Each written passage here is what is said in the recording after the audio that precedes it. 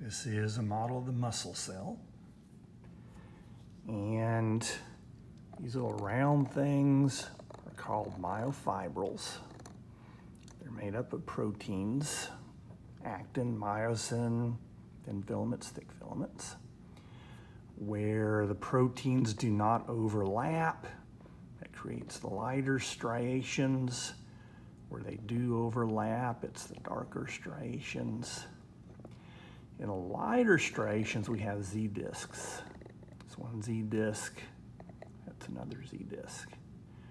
And between, from one Z disc to another, is a contractile unit of the muscle called a sarcomere. This is the sarcoplasmic reticulum. It stores calcium. Thicker part of the sarcoplasmic reticulum is called the ter terminal cistern.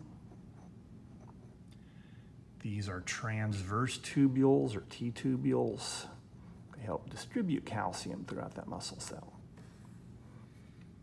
And we've got these red things here, the mitochondria.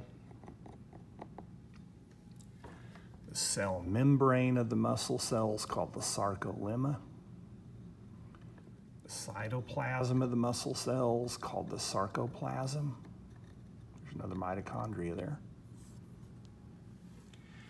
And this is the axon of a nerve cell.